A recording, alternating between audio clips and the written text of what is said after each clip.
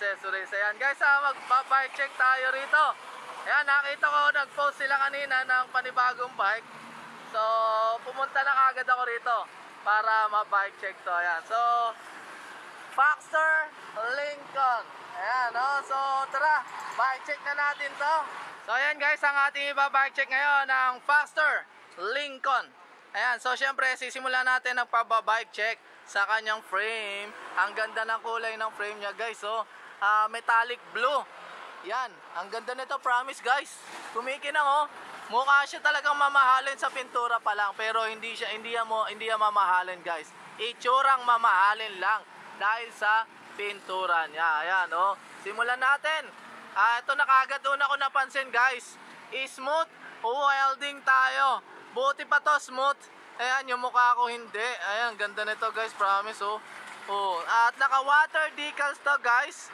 Ang ganda ng pagkaka-water decals niya. Napaka-detalyado, guys, ng water decals niya. Kitang-kita to, oh. Oh, napakaganda, promise. Smooth welding. Internal cabling nga tayo dito, guys. Isa rito. Tapos, isa dito sa kabila. Yung preno, guys, dito dumaan sa ilalim. Ayan.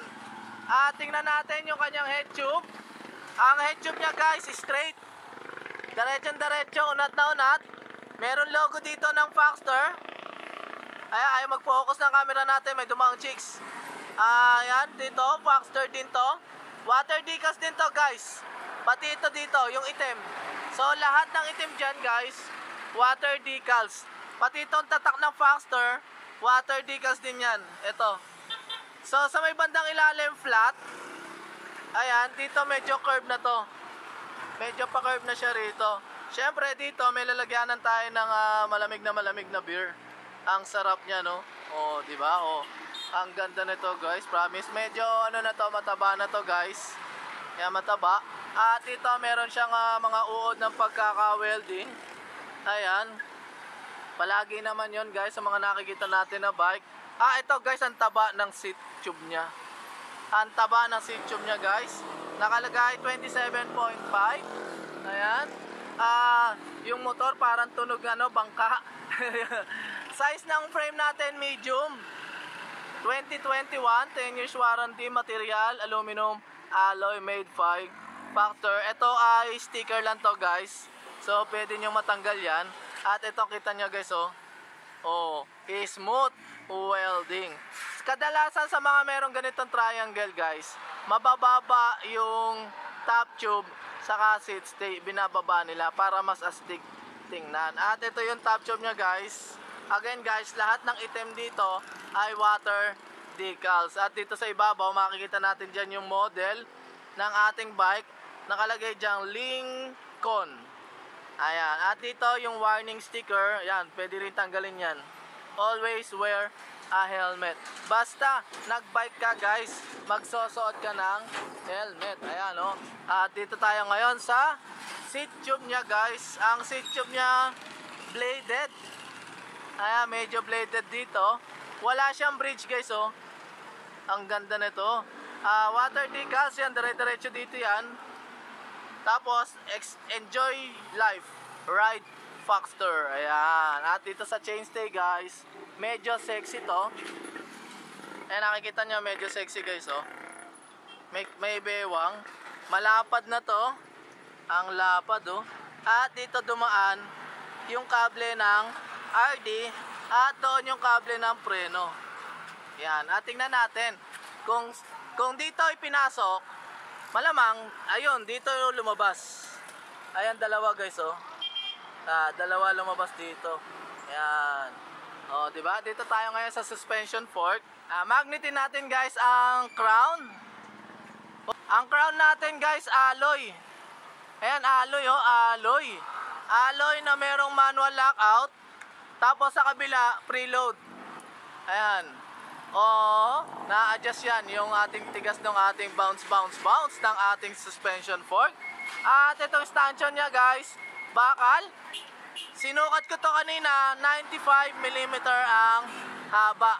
95mm yan guys. Mula rito hanggang dito. Ayan.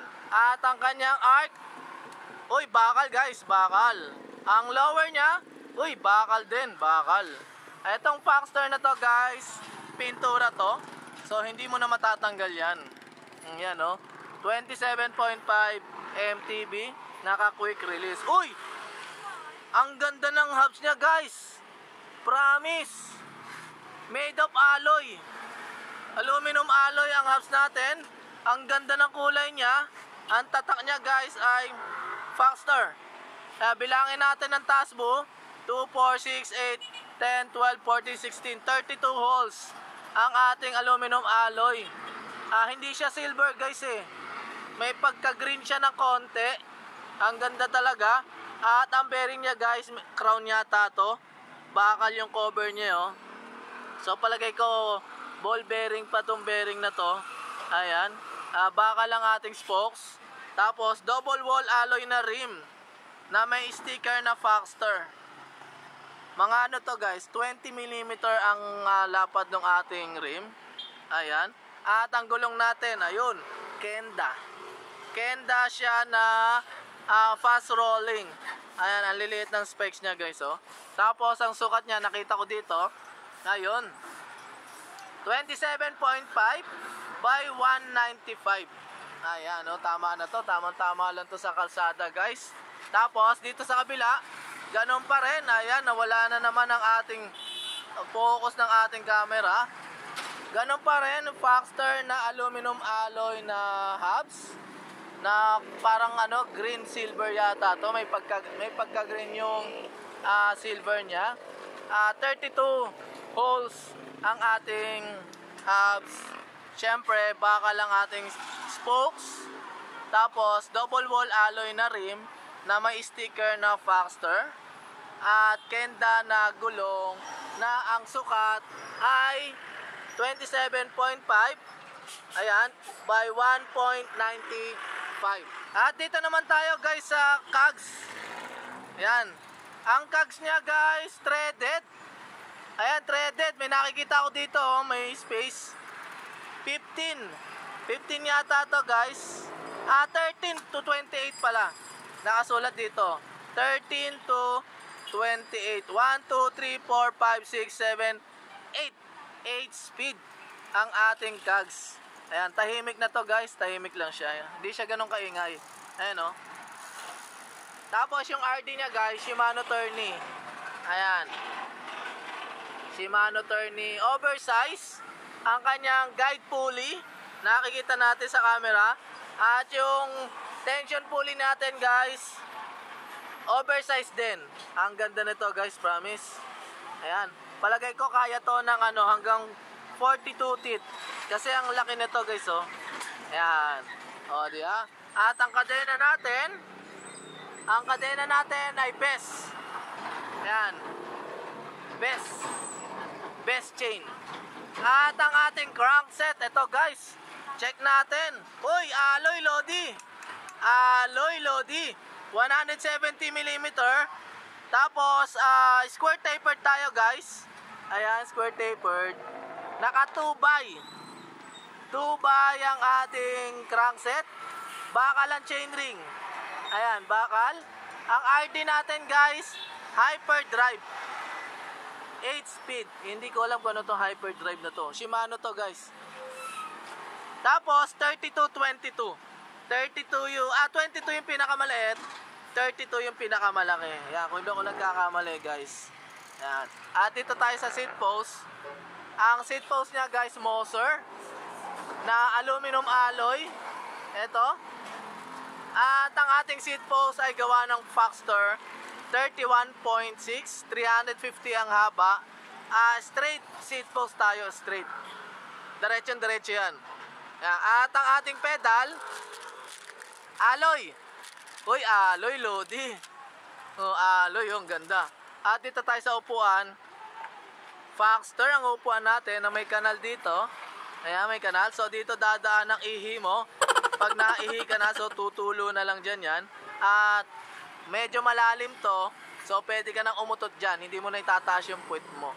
Ayan, oh. Ah, maliit lang to, guys. Jutay lang to, jutay. Ayan. At ito, malapad. So, sapong-sapo ang puwet mo dito. Ayan. At ito tayo sa handlebar niya, guys. Ang handlebar niya, sinukat ko to guys kanina, 690mm ang haba niyan. 690. Made of alloy. Tapos ang stem niya guys, 80mm. Made of alloy din. Ayan. Ang headset niya guys, Foxter. Alloy to. At meron dalawang 10mm na ah, spacer. Ayan, 1 and 2. Tapos yung dust cap niya guys, ah, plastic. Ayan, plastic to.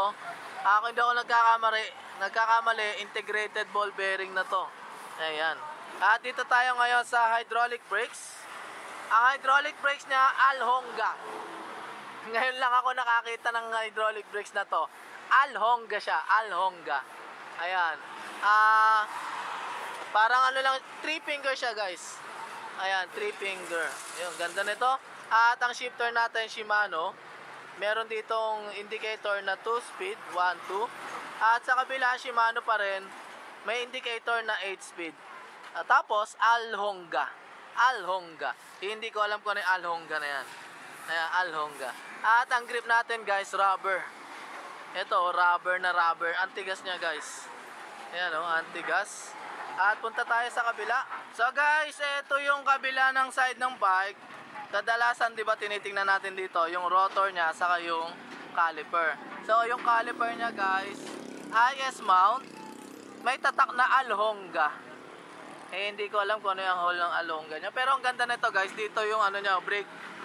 Yung ano niya, yung bleeding nasa ibabaw. Wala siya sa gilid, wala siya sa baba. So, hindi na to, hindi to tatapon. Naka-IS mount sa frame, ah, dito. Ayan, oh, may adapter tayo. At ang ganda ng rotor niya guys, 160mm. Ang ganda, parang bulaklak dito. Oh. Siyempre, ganun din sa kabila.